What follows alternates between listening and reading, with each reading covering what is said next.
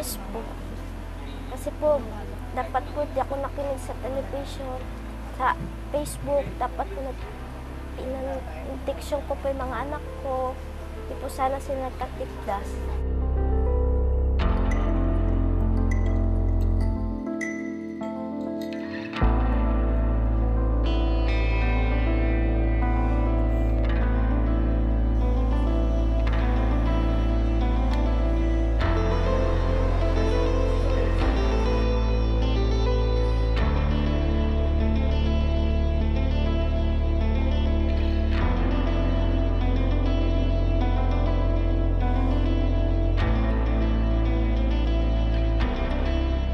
Panganay ko po, ano po siya, pantal-pantal, tapos nilalagnat po siya.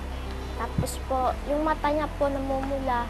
Yun lang po. Tapos pinainom ko po siya ng paracetamol.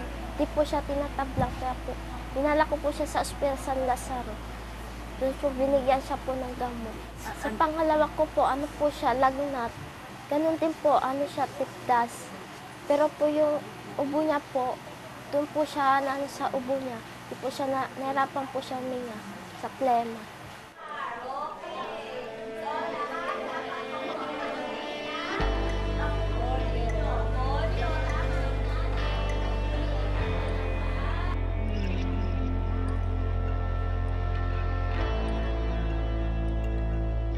Sa mga balita po, mga namamatay po na bata at sa Facebook, kaya po natakot po ko magpapakuna sa mga anak ko.